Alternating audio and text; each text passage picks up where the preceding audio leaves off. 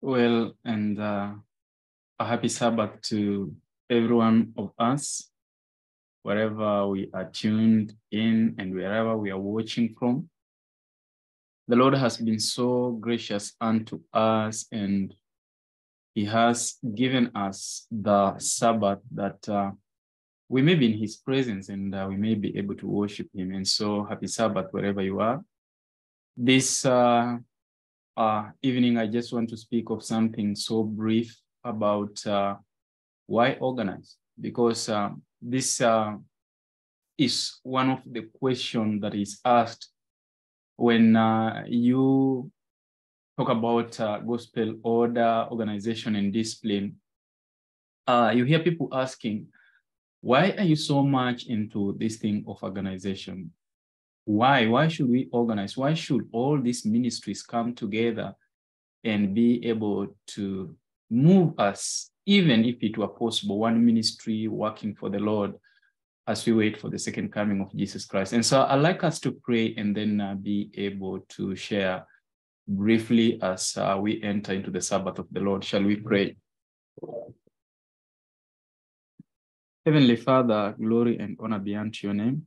Lord, we thank you for every good gift that uh, you have given unto us the gift of life, the gift of the Sabbath, a special time to just have a rest and have fellowship with you and your Son, and to commune with the numerous uh, angels in Mount Zion, the great uh, General Assembly. Father, we rejoice, and uh, one day we shall see face to face each other very soon. No one has knows how soon. And so we pray that uh, when that time comes, we may be ready, and this fellowship that has started on this earth, that uh, it may continue eternally. Glo- uh, glory be unto thy name, and uh, be with your children as we go through your word in Jesus' name. Amen. Uh, uh, I just want to again thank the Lord for the gift of life. It is uh, important to be alive in this uh, uh, time of the earth history and all that is going around. You get that assurance that uh, the word of God is true and it doesn't lie. And so the visions will speak at the end of the time, though it tarries, wait for it because it shall speak and it will not lie. And so we are seeing the events of uh, the prophecies unfolding. In fact, I'm convinced uh, from uh, just studying the book of Acts together with the family that uh, we are convinced that Christ is coming. And how do we know this? this? Um, when uh, you read the book of Acts, you get uh, there were many people who rose up uh, to claim that they were Jesus and uh, they showed themselves unto the people, but it didn't go so far. During the times of the book of Acts, and then we are told at the end of uh, the days, Matthew chapter 24, the very things that happen in the past will happen again. False Christ shall arise, claiming that they are He, but then know that this must happen, and then uh, the end shall come. And so we are in the midst of this. Uh, those who are watching news, those who are going through the newspapers have seen that uh, there's Jesus Christ in Kenya, there's John the Baptist in Kenya. They are funny, funny things, but they are not funny at all because uh, this is prophecy being fulfilled. And we should be asking, instead of laughing, what is uh, the state of my heart? I don't mean in the sense where people actually say, oh, now we have come to the end of the world and uh, you know, now I have to fear God, I have to serve Him, lest I be lost. I'm not talking that kind of uh, examining our hearts. Serving the Lord with fear will never take anyone to heaven. God does not need people who will serve Him out of fear. God needs people who will serve Him out of love. And if uh, we serve God by fear, then it means that uh, what if He doesn't come in the near future? We'll say, oh, our fathers have spoken about Him coming and then it has been like that until now. So again, you will lose the meaning of uh, serving the Lord because you started with fear. When you start from the wrong foundation, what you end up is a wrong conclusion. We want to serve God because He loves us, not even because we love Him. because human love is so imperfect. There is nothing in it. Today it is there, tomorrow it's not there. What we need is to serve God because He loved us. For so, so for God so loved the world that He gave His only begotten Son. If you read uh, in Romans chapter seven, five, we are told chapter five verses seven onward, it says that uh, while we were still yet weak, He died for us, and as we are still yet even weak, He is coming for us. I don't say that uh, we continue sinning until Christ is seen in the clouds of the air. Everyone have to decide today if they will serve the devil or they will serve God. You see how people are serving Satan, by the way. They are serving Satan with passion. They are not serving Satan out of fear. So don't serve Jesus Christ out of fear. People are serving Satan. They will do all manner of things, all sorts of things because they love Satan, not because they fear Satan. I have never seen somebody serving Satan because he hates Satan. People passionately serve Satan because they love the things of Satan. Let us not cultivate this service for Christ because we fear him. No, no, no. How can you give the devil good service and then come to Jesus Christ and what you are offering him is something out of fear and not something of out of qualitative love that uh, he has for us.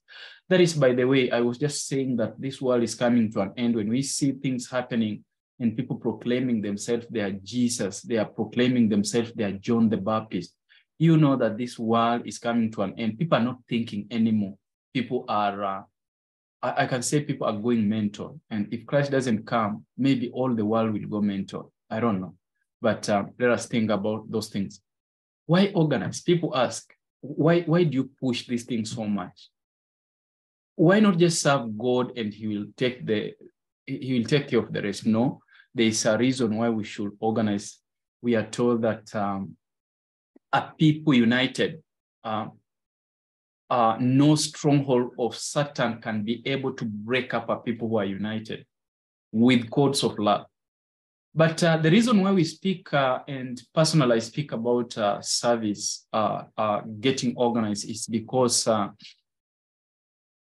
Lord is is making up His great army who will speak one thing, who will see eye to eye. And let me just give you a verse.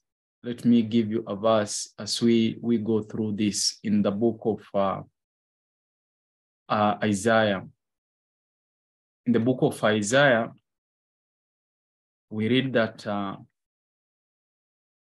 there will be a people who shall see eye to eye. Isaiah chapter 52, verses 8, we are told, Thy watchmen shall uh, lift up the voice, with the voice together shall they sing, for they shall see eye to eye when the Lord shall bring again Zion. And so we see that uh, the need for organization is not a need of man. But Isaiah 52 verse 8 says that these watchmen shall be able to sound the trumpet together. They shall be able to see eye to eye when the Lord bringeth Zion. And you, you read uh, on in uh, the book of uh, Revelation chapter 14, and verse 1 talks about the Lamb standing on Mount Zion with the 144,000 having the Father's name um, in their forehead, having the Father's seal in their forehead. Now, what is this Father's seal in their forehead? In the prayer of uh, Jesus Christ in the book of John, chapter 17, he says that they may be one as even uh, we are one. That, that is the idea of organization. So that not one brother should go there speaking this thing and another one is uh, going the other way speaking another thing and the other one is standing here speaking another thing one plunges forward and pushes or goes with all his energy and another one sits back and just watches things or pulls them backward this is not the kind of um, christianity that we would like to have we want to have that unity in John chapter 17, and we want to dwell together as brethren, as Psalms 133 says. And then when we do this, we shall be able to give a service which is acceptable. Young men and young women cannot you form companies wherever you are and as soldiers of Christ enlist in the work, putting all your tact and skill and talent into the master service that you may serve souls from ruin. And so the need of organization is the need of bringing young men and young women together so that uh, there may be companies organized in every church to do this work. And so will the young men and the young women accept the call of Jesus Christ not to run helter-skelter here and there, but to come together and be able to plan together. And you know, when I plan and another one plans, and we bring together our ideas and share, the Lord sees a people who are preparing to live together in heaven in unity. And so let young men and women and children go to work in the name of Jesus Christ, not envying each other, not uh, uh, esteeming uh, uh themselves, but uh, preparing one to another. We are told, let love be without simulation, prefer one to another, uh, others above yourself. Can we not form band of workers and have set times to pray together and ask the Lord to give us grace and put forth uh, united action? And, uh, you know, when you read Revelation chapter 17, we find that um, there's a confederacy against Jesus Christ. And you are seeing these 10 kings come together and give their power to the beast and rule with him for one hour. The whole bunch of evil angels and evil men are coming together and putting their resources together so that they may confuse the children of God and make sure that they are not prepared for the second coming of Jesus Christ. Now, if this is how the devil is working, where has he copied this formula that when people are together, they can be able to do a very great thing? It is in heaven where he was, he saw that the angels were united, the inhabitants of the unfallen world were united, and what he wanted on this earth is Adam and Eve to be united. But look at what happened in Eden. Eve went away from Adam, and a little separation brought about sin. And we find that when brothers are pulling apart, there is nothing that comes out of it but uh, fighting, evil surmising, and all manner of stuff which is uh, unchristlike. So the reason for us uh, organizing and being one unit is so that we may be able to successfully fight as an army of the Lord against one enemy, which is the devil. And so another issue why we should get organized is because uh, we are the body of Jesus Christ. And uh, as I have presented in different um, presentations, one person is a leg, another person is a hand, another one is an eye. And then we put all these things together and we form a missionary, uh, a team that uh, is impregnable. The true missionary spirit has been started in churches because people have caught up or Satan has uh, uh, caught up the people in this uh, independent movement where one medical missionary is doing something, they see that they're the best, another one is doing something somewhere. Uh, the gospel worker is saying that uh, I cannot work with the medical missionary because um, I don't think that is the calling and all that stuff. No, churches are dying. And why are they dying? Because we don't see the work of upper room experience happening amongst us and the unity that Christ prayed for coming to happen.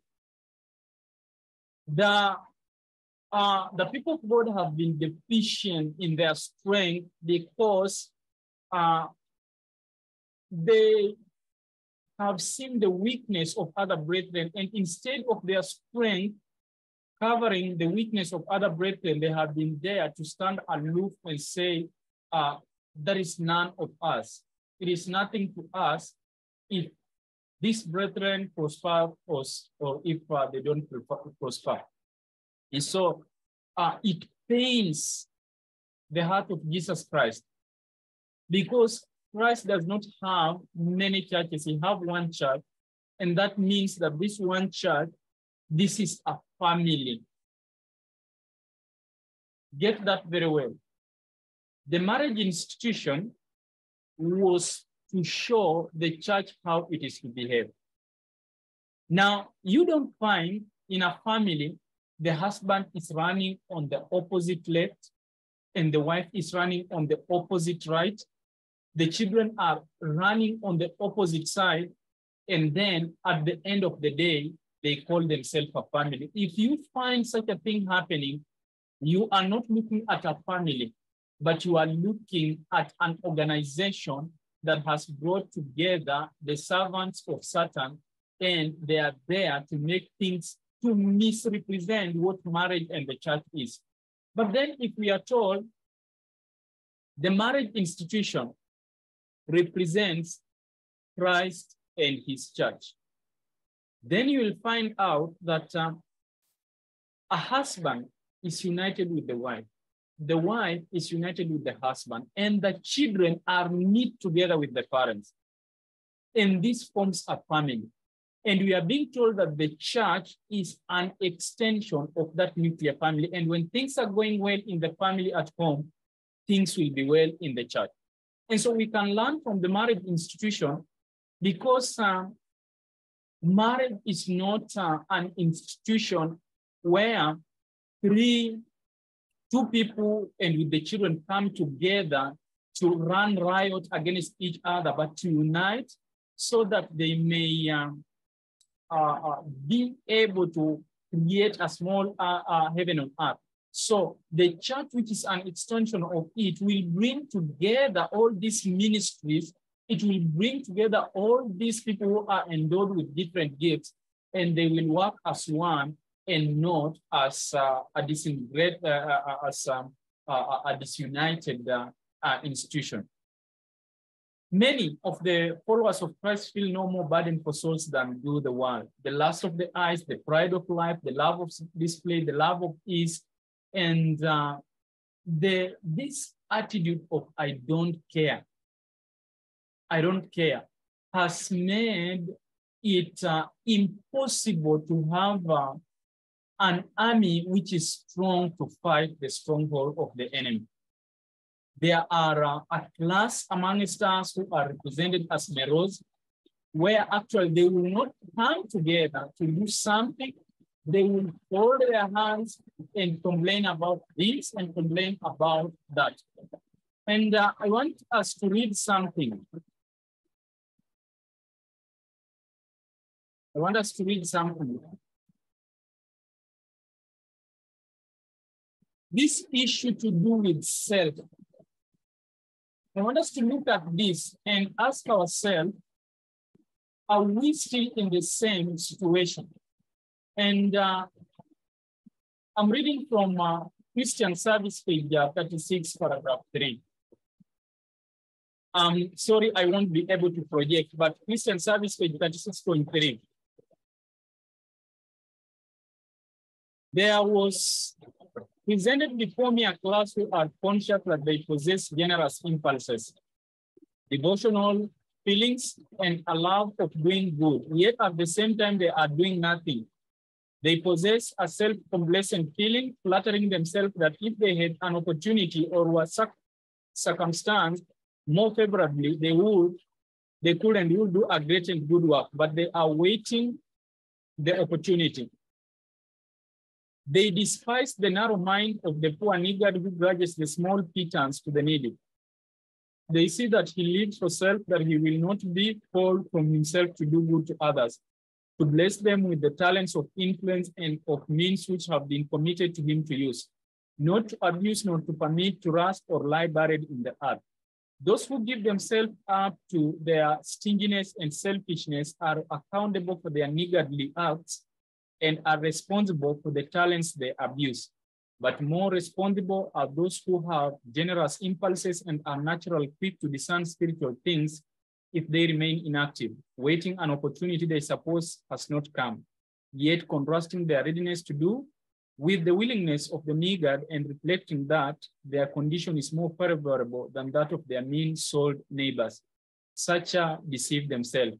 The mere possession of qualities which are not used only increases their responsibility. And if they keep their master's talents unimproved or hoarded, their condition is no better than that of their neighbors for whom their souls feel such contempt. To them, it will be said, You knew your master's will, yet ye did it not. Now, we are being told that um, selfishness has made brethren not come together. And so this has hindered all the talents that the Lord has given several to his children in different places to work together for good for his church. And so you find that some who have talents have held themselves aloof and they will not join with their neighbors to bless each other, but they'll stand far off and love how the neighbor is poor, how the neighbor is not talented as them, and then they fold their hands. These are accounted as one who was given a talent and hid it in the ground and said, I know, Master, you reap where you did not sow, in the book of Matthew, chapter 25. And so, when the brethren refuse to come together and organize. It means that the talents, the different talents that the Lord has endowed to different people will not be used for his kingdom. Then somebody may say, now, if that is the case, why should the Lord give that person a talent when he knows that that person has held himself or herself aloof and doesn't want to join brethren? Let me tell you, the ways of the Lord are not the ways of man. And his mind, his thinking and acting is not the same as us. We are prone that when things are not pleasing to us, we cast them aside and we have nothing to do with them. No, that is not how Christ acts. Remember, Jesus Christ had Judas in his company of disciples. And even though Judas originally was not called by Jesus, but uh, praised himself to Jesus, Christ did not push him aside and tell him, no, no, no, no, no. I know your heart. In the end, you may betray me or such a thing. And so you can have none of the ministry. No. Judas came and even he was the treasurer. You know, I'm sometimes amazed at this stuff that um, the person whom Jesus Christ knew he will be able to betray him was given the treasury department the most sensitive uh, uh, uh, uh, department in the gospel ministry. Because if uh, people are giving in tithes and offering, and you have a treasurer who is stealing all the money, how will you organize for the work? Maybe somebody may say, Christ didn't need money because he could just go preach, ask the Father for the power, and then he can just speak a word, be healed, and the person is healed. He could pull the, the, the crowds without uh, having the posters. But you are not thinking straight it is detrimental even to Jesus Christ to have had Judas amongst his disciples and give him the post of the treasurer. What am I trying to say? The Lord does not see things the way you see them. And that is why, even to that person who is holding himself aloof, he has given him a talent. Why? Because the person will not have any, um, any, um, any case that, Lord, you know, you gave to others, but to me you didn't give me. And so when I saw you had not given to me, I decided to sit around and do nothing because you gave me nothing. No, God will give every person a talent, whether one, whether two, whether three. They may do whatever they want to do with it, but they will be accountable for it.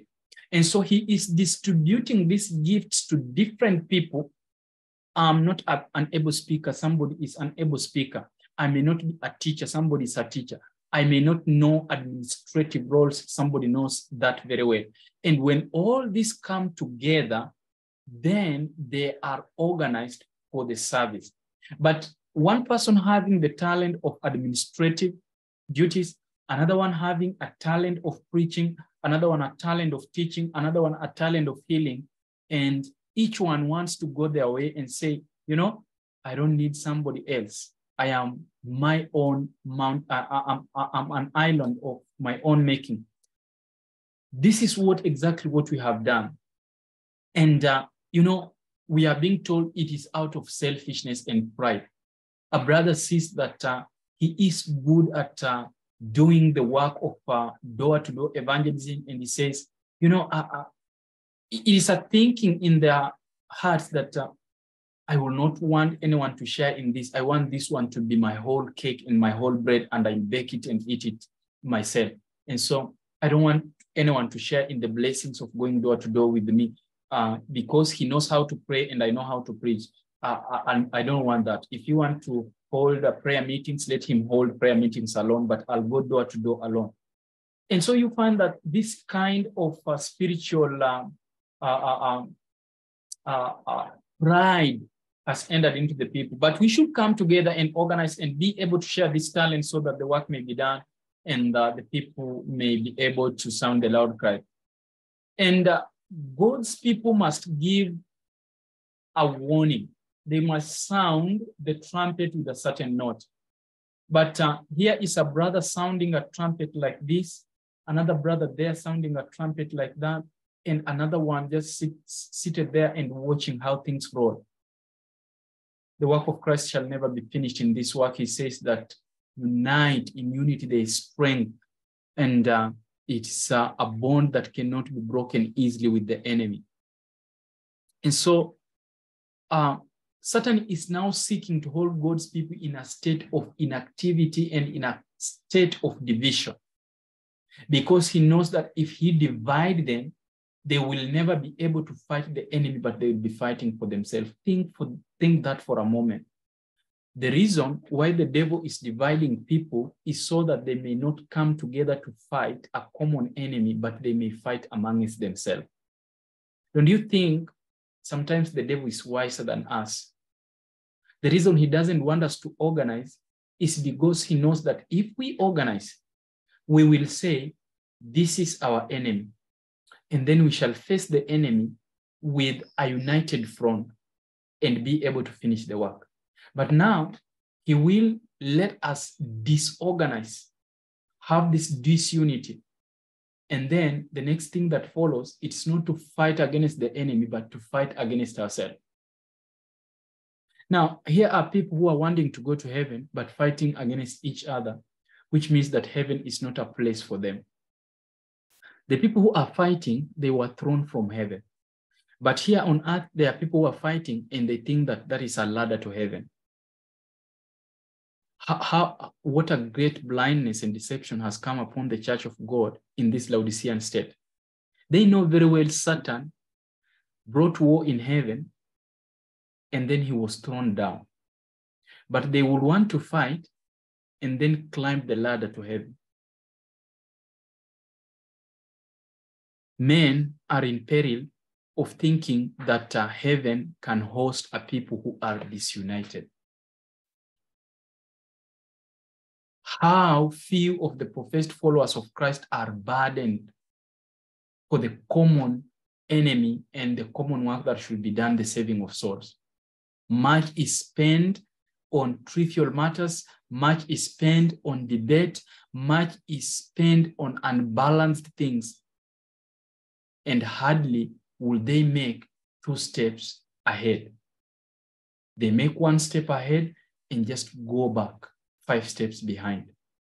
There is lack of that love which led Christ to leave his heavenly home and take man's nature that humanity might touch humanity and draw humanity to divinity. There is a stupor, a paralysis upon the people of God which prevents them from understanding the duty of the hour and the duty of the hour, what is it? Watchman on the wall of Zion, sound the trumpet.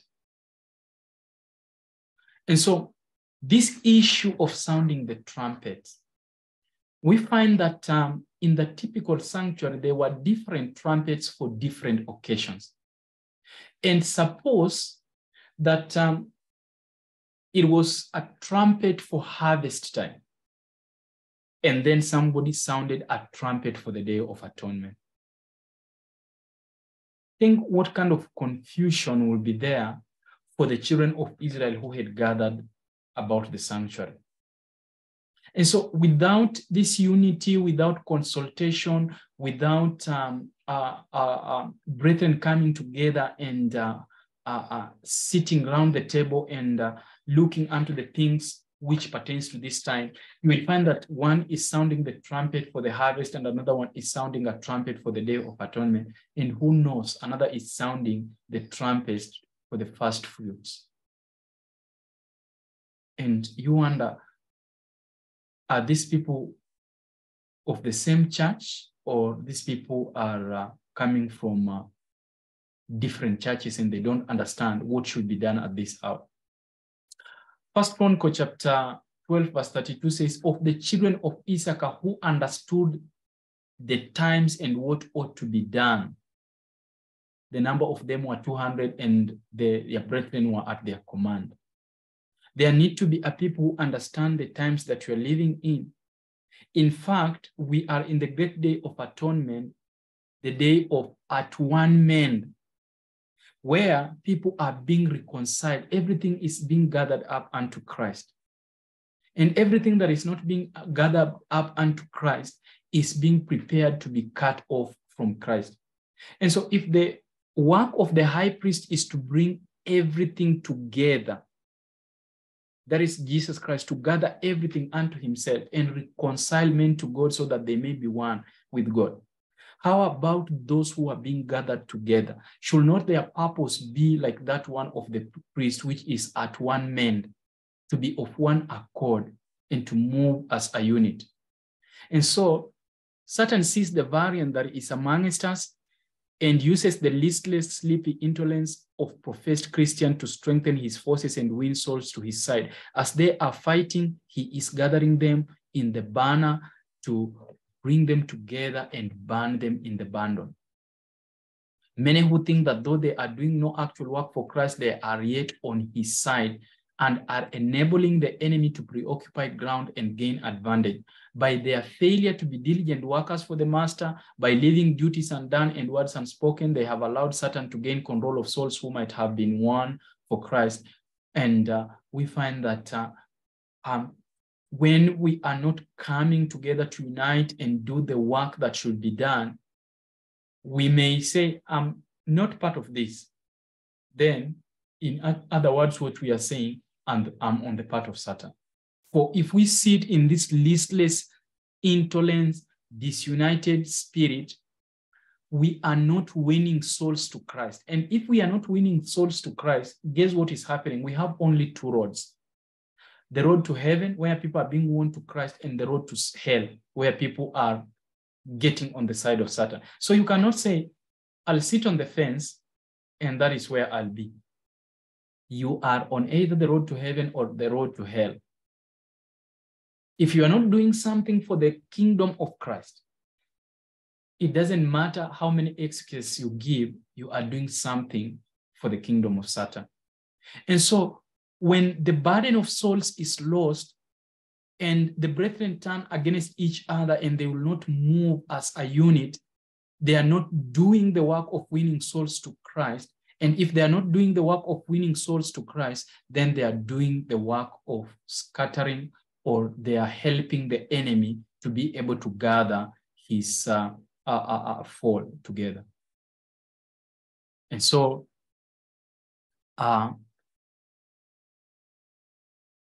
the church will get alarmed and fear about the sleep that has come over it. The marks of distinction between Christ professed people and the world have almost disappeared. And, uh, you know, we, we look around the world and look at the world lens. And uh, sometimes people give this uh, uh, this uh, this example of the drunkards. That uh, these drunkards are people who are so united in what they are doing. The, the drunkard will sleep hungry at home, but he will never miss uh, uh, uh alcohol. When he shows up where people are drinking, they give him a drink. And then this is how Satan works. And we know this is not uh, per se some, some unity, but uh, at the same time, it's unity in unto evil. But you come to the Christians and you see how they treat each other, and then you say, oh, the drunkards are better. It will be so bad for the people of God to be compared to Christ, uh, to be contrasted with the, the drunkards. And so the issue is that um, when we stand aloof from each other, the world seems better in a better position than the church of God. And then not only and not only in the world do we see the result of the church neglect to work in Christ line, but this neglect, but this neglect, a condition of things have been brought into the church that has eclipsed the high and holy interest of the work of God. A spirit of criticism and bitterness has come into the church, and the spiritual discernment of many has been dimmed because of this the cause of Christ has suffered a great loss. When people are not united, a spirit of bitterness comes amongst them. And the second commandment on the table of stones is lost sight of. Now, what is the second commandment? The second commandment is that thou shalt love thy neighbor as you love thyself. And then to make these hard lines that uh, uh, we cannot come together and work just for the sake of uh, standing aloof and no one has uh, uh, uh really wronged you. Actually, it is, uh, we are being told it is uh, making void of the second commandment on the table of stones. And so the Lord is, the Lord has not closed heaven to us, but our course of con continual back, backsliding has uh, separated us from God. And the children of the, the professed children of God are filled with pride, covetousness, love for the world, and the love for self, and they live for self and not live for others. Grievous and presumptuous sins has dwell, been dwell, has, have dwelt amongst us, and yet the general opinion is that the church is flourishing and that uh, peace and pros spiritual prosperity are in all her borders. But uh, the church has left following Christ, her leader, and is steadily retreating toward Egypt. And so we, we see that uh, when people don't feel alarmed or astonished at their want of spiritual power, you find that uh, it doesn't matter what their profession is, it doesn't matter what their uh, uh, uh, uh, act of faith is or their beliefs. These are not working for Christ. What has brought about all this spiritual weakness? Because love for one another have died among them. And uh, uh, uh, the, the, the, the condition, the state of one pushing the other side and another pushing the other side has brought about uh, a state where truth cannot go forward. For the world beholds the differences between those who are professing the truth and us. Are these the ones whom we are to join and be like them? You know, when uh, brethren uh, stand against each other, and yet they will want to win the people of the world to the church. The people ask, now all these people are Seventh-day Adventists. All these people are calling themselves Christian. And if this is how they are behaving, will they not tear us apart? Will they not uh, uh, uh, um, uh, uh tear each other because of us also? And so you find that uh, the gospel cannot go on the forefront uh, on the front with the power that is needed because of the constant the constant difference between professed brethren. And so as uh, i conclude this what do we need? I'm reading from uh, christian service page 39 paragraph 2 the churches need to have their eyes their eyes anointed with the heavenly eyesight that they may see the many opportunities all about them to minister for God. Repeatedly, God has called upon his people to go out into the highways and hedges and compel men to come in, that his house may be full. Yet, even within the shadow of our own doors, our families, in which we have not shown sufficient interest to lead them to think that we cared for their souls. It is this work lying nearest us that the Lord now calls upon the church to undertake. We are not to stand saying, Who is my neighbor? We are to remember that our neighbor is the one who needs our sympathy and help. Our neighbor is every soul who is wounded and bruised by the adversary. Our neighbor is everyone who is, in the, who is the property of God.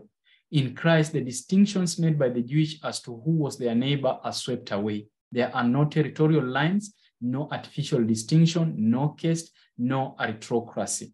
Christian Service, page 39, paragraph 2. And so this fanaticism and cold formalism should die amongst the brethren who are waiting for Jesus Christ. We have become moral icebergs in our churches. Think about that. We have become moral icebergs in our churches. If uh, we remain in the state that we are, if we are not organizing to win souls unto Christ, then we are disorganized to win them or to scatter them to the devil. And this is a, a treason to the name Christianity because if we call ourselves Christians and we are not gathering but scattering, then we are doing a disservice to the kingdom of God. The reason why God's people are not more spiritual minded and have no more faith I have been shown in because they are narrowed up with selfishness. Now, you understand that uh, the greatest battle to be ever waged is the battle against self. This is the, battle, but the greatest battle that uh, we have to contend with. It is not until the church will be converted that the Lord will work in it. And we are told in uh, evangelism, is it page 110? The reason why God is not bringing in many is because of the church members who have never been converted and the church members who were once converted, but they have backslidden. So the Lord is not working to bring in many. And uh, it will continue like this until the end of the time. And uh, we may think that uh, we are doing a great service to God when we stand aloof from each other. But uh, we are told lastly that uh, the Lord is testing a people on this earth to see that there shall be no uh, another rebellion in heaven. And you can find that also in Nahum 1 9, that um, what you have thought of the Lord, he shall bring it to an utter end, and sin shall rise no more. And, uh, you know, what is sin essentially? Sin is uh, the breaking of the law of God, but uh, deeply, if we go into that, sin is again separation from God. And uh, there is no way we can say that we are being reconciled and uniting with God when we are continually separating from one another. For how can you say, we are asked that, uh, how can you say that um, you love the Lord when you hate your neighbor? How can you say you love God and uh, you hate your neighbor?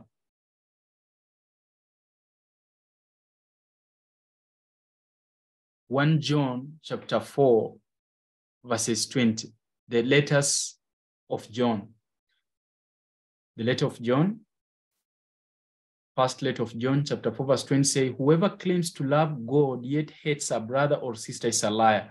For whosoever does not love their brother and sister whom they have seen cannot love God whom they have not seen. And uh, you find that uh, all of us, we are professing that we love the Lord. But then the people who are working in the same field with us and the we people who are working for souls uh, like us and whom we call our neighbors, we can't see eye to eye. We can't unite together and do our work for the Lord. And so the question asked again, as I began, why organize? It is organization for the gospel work. This organization will root out every covetousness and selfishness in us. It will be a means of us seeing our defects, of seeing our imperfectness, of seeing our weaknesses, and accept them, and also recognize others that they can be used of God. And when we all bring all these talents together and we be one body under the head, which is Jesus Christ, the work will be finished. We will be a great army and we will go to the war and uh, we shall fight the common enemy and we shall stop fighting one another. And the door in which the devil finds opportunity to perplex the church is the door of disorder. If we close this door of disorder, then Satan will not find a door to come in and perplex the church. And so may we think about these things and may Christ uh, uh, uh, uh take all selfishness from our hearts that uh, we may be united to do a service for him with uh, our all affection upon our brethren and uh, esteeming others more than we esteem uh, ourselves. And uh, may the Lord bless us and have a happy Sabbath wherever you are. And may you think about these things if they are so. And if they are so, may you pray the Lord that uh, we shall have one spirit and we shall see eye to eye, as we have been told in the book of Isaiah, that the watchmen shall be able to see eye to eye and they shall sound the trumpet as the Lord gathers his people uh, in Zion. Shall we close with a word of prayer? Glory and honor be unto thee, Heavenly Father we again say thank you because you are giving us opportunities to be saved. We haven't done anything good that uh, will warrant us to be in heaven. But Lord, thou hast seen it fit to send your son to die for us and uh, give us another probation so that we may be reconciled unto thee. Help us to use this opportunity not to serve you in fear, but to serve you out of love. In Jesus' name I pray. Amen.